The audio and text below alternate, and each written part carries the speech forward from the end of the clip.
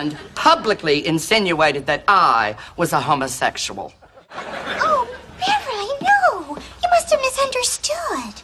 Attention, Republicans. Beverly Leslie is a homosexual. I repeat, Beverly Leslie is a homosexual.